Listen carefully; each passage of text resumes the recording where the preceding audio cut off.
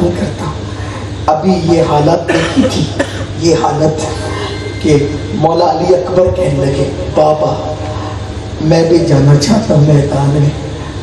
حضرت علی اکبر کا حسن آپ سنتے رہتے ہیں کتنے خوبصورت تھے کہ ان کو ہم شبیہ پیغمبر کہا جاتا ہم شبیہ رسول تھے۔ خاندان رسالت میں اور اہل مدینہ بہت عزت کی نگاہ، ایک تو آل نبی تھے اور بہت عزت کی نگاہ سے لوگ اس لیے دیکھتے تھے کہ حضرت علی اکبر حضور کی ہم شکل تھے، ہم شبیہ پیغمبر تھے۔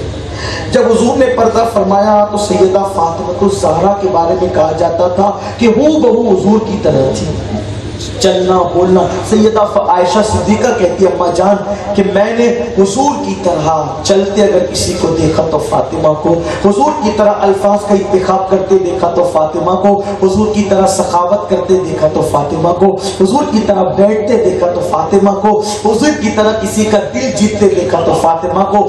سیرت و صورت میں بالکل اپنے باپ کے مشابہ تھی، جسے سیدہ فاطمہ کہتے جب فاطمہ تو زہرا کا مثال ہو گیا، تو لوگ امام حسن کو دیکھ کر اپنے دل کو تسکین دیتے تھے کہتے تھے، ہم شبیہ رسول امام حسن ہے اور جب امام حسن کی شہادت ہو گئی تو مولا علی اکبر، مولا علی اکبر، ہم شبیہ پیغمبر تھے۔ جیسے ایک اٹھارہ سال کے بیٹے نے کہا ہوگا، بس دین کی قدروں کو پامال مت کرو، یہ قربانی اہل بیت کی یاد کرو۔ اٹھارہ سال کے بیٹے نے کہا، امام علی مقام نے کہا، نہیں بیٹا، میں تجھے نہیں جانے دوں گا۔ امام علی اکبر کا بابا میں شہید ہونا چاہتا گویا کہ آپ کو وہ منظر یاد آیا ہوگا۔ حضرت یعقوب علیہ السلام سے جب ان کے بیٹوں نے کہا، بابا، ہم یوسف کو کھیلنے کے لیے لے جاتے ہیں۔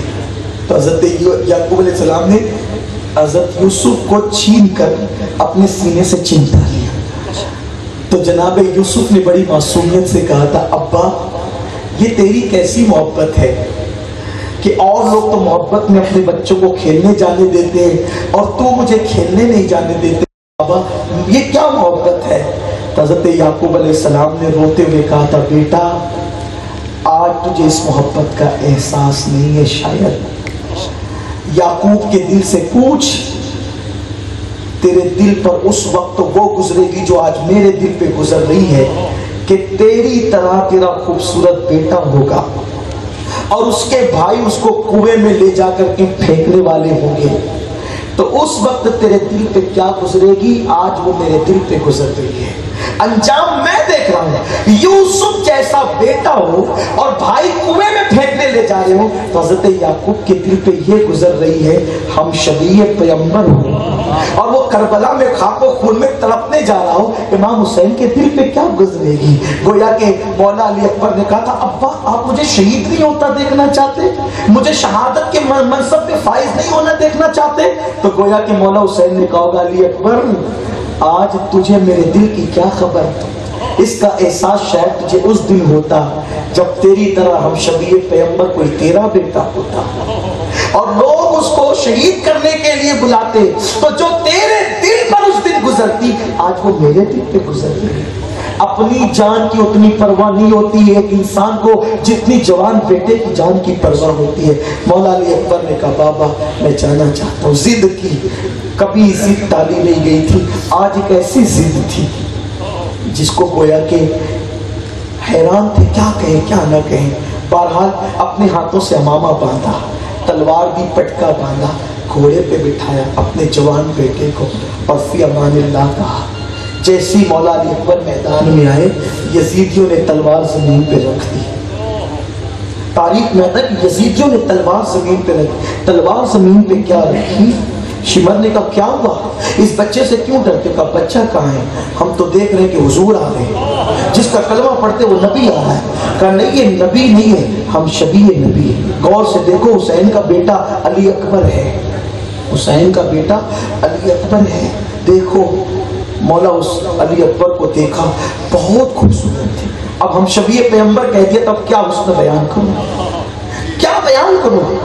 مولا علی اکبر نے کہا مقابلے میں آنے والا بھیجو۔ کسی میں ہمت نہ تھی کہ آگے بڑھتا۔ کہا، نہ مردو تین دن سے پانی بن کر رکھا ہے۔ بھیجو کون ہے؟ جب کوئی نہ آیا، علامہ سید محمد نعم الدین مراد آبادی لکھتے ہیں کہ خود گھسے ہیں لشکر کے اندر۔ اور وہ تلوار چلائی کہ لوگوں کو خیبر کا منظر یاد آ گیا۔ لوگوں کو خیبر کا منظر یاد آ گیا۔ جانتے مولا علی کی بہادری کتنی تھی؟ جنگ بر مارے گئے۔ جنگ بدر میں ستر کافر مارے گئے ہیں۔ کنہا پینتیس علی نے مارا ہے اور پینتیس سب نے مل کر مارا۔ یہ ہے علی کی شجاعت۔ لا فتح الا علی، لا سیف الا ذوالفقار اس یہ نہیں یوں ہی نہیں کہا گیا۔ یہ بازو حیدر کی شجاعت تھی۔ مولا کائنات کے بازو کی قوت کا یہ عالم تھا۔ بدر کے پینتیس کفار کو اکیلے علی یہ علی ہے۔ یہ علی ہے۔ یہ علی ہے اور یہ علی کا پوتا ہے۔ علی اکبر ہے۔ امام حسین نے اپنے تین بیٹوں کا، تینوں کا نام علی رکھا۔ علی اکبر، علی اوسط، علی اصغر۔ تینوں کا نام علی رکھا۔ نام علی کی کیا تاثیر پائی؟ اور پھر بیٹوں کا نام تو علی رکھا۔ پھر آگے بھی یہ سلسلہ چلتا رہا۔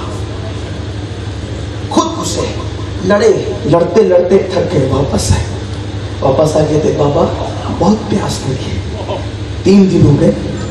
بھائی دوڑنے، بھاگنے میں پیاس لگتی ہے۔ دشمن سے لڑنے میں کیا؟ کہا بابا بہت پیاس لگی۔ امام علی مقام نے کہا، بیٹا، یہ میری انگوٹھی چوس لے انگوٹھی منہ میں رکھی تھوڑی دیر چوسی، پھر پلٹے۔ پھر کہا، کون ہے مقابلے میں؟ پھر کوئی نہیں آیا پھر گھسے پھر خوب لڑے پھر پلٹ کر آئے کہا بابا، تھوڑا سا پانی نہیں جاتا بیٹا تو جانتا ہے، امتحان ہے۔ آ میری زبان چوس لے جب کسی سفر میں مجھے پیاس لگی پھر پانی نہ تھا، تو نانا نے مجھے زبان چوسا صاحبی کو سنی، آ میری زبان چوس لے زبان چوسائی اور اس کے بعد آخری مرتبہ اپنے بابا کو دیکھا۔ اب کہا بابا، آخری سلام لو۔ اب شاید آپ کا علی پلٹ کر نہیں آئے گا۔ اٹھارہ سال کا جوان بیٹا جا رہا تھا۔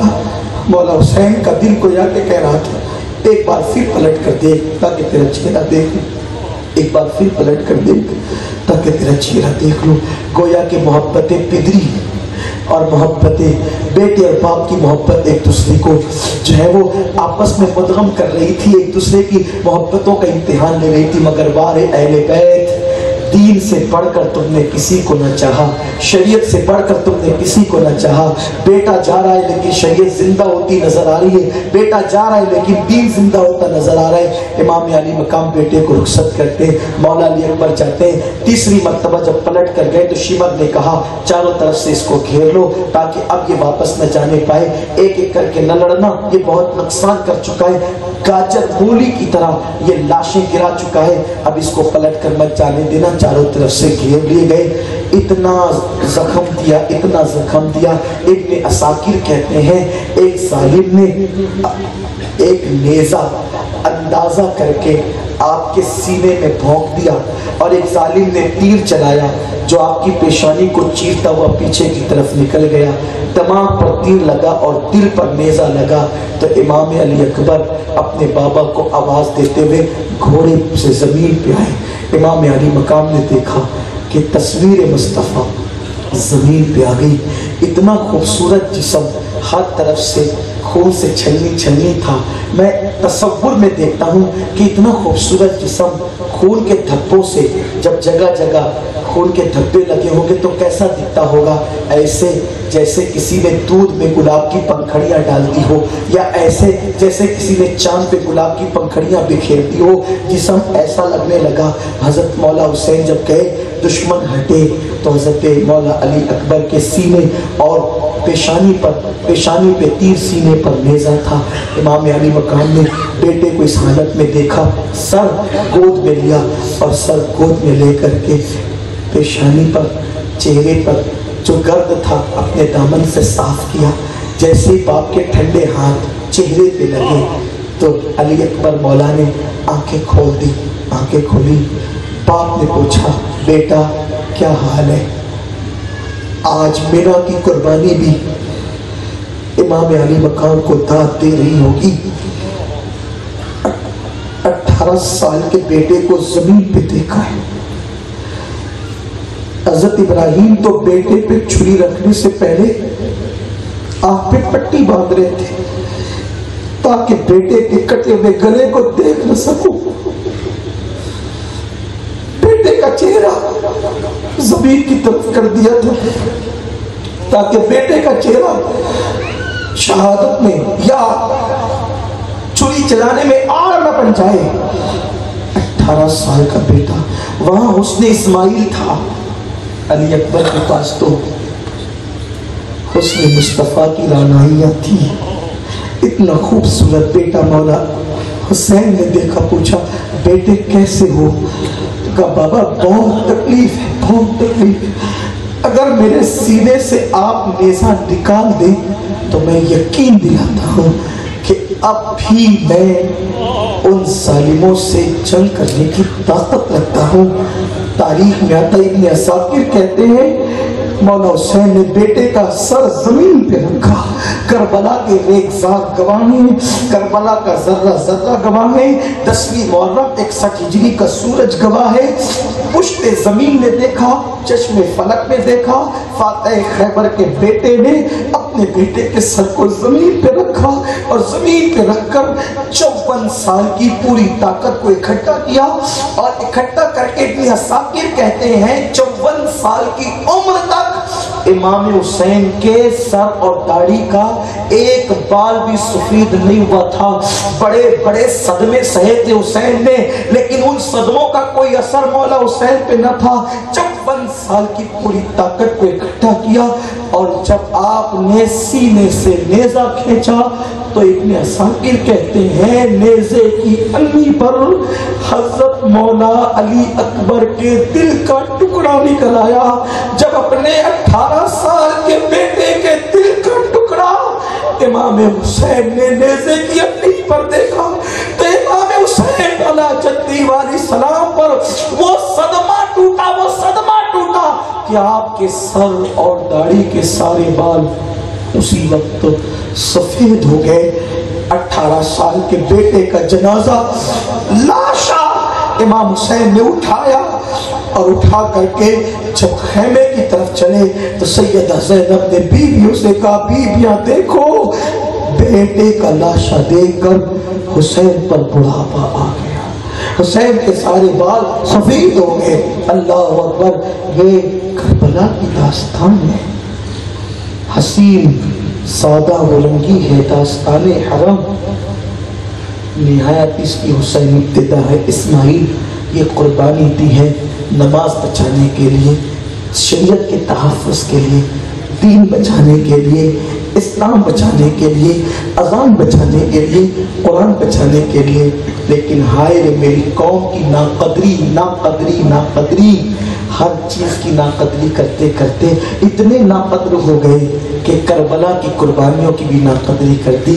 کہاں سجدے کا تحفظ اور کہاں چندرم شربت، کہاں شریعت کا تحفظ اور کہاں کھچڑے کی نیاز، اسی پر تم نے محرم کو سمیٹ دیا۔ بڑی معذرت کے ساتھ الحمدللہ میرے گھر سے دس دن تک شربت تقسیم ہوتا ہے، لیکن پھر بھی میں یہ سمجھتا ہوں کہ حق تو یہ ہے کہ حق ادا نہ ہوا۔ سنیو یاد رکھنا، میں شربت، کھچڑے کا مخالف نہیں، لیکن اتنا ضرور کہتا ہوں، ساری زندگی شربت پلا کر بھی خون حسین کے ایک قطرے کا حق ادا نہیں کر سکتے۔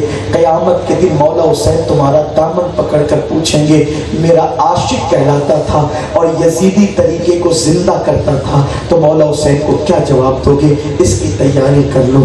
اللہ مجھے آپ سب کو توفیق عطا فرمائے۔ جو شہادتیں بچی ہیں، پھر کبھی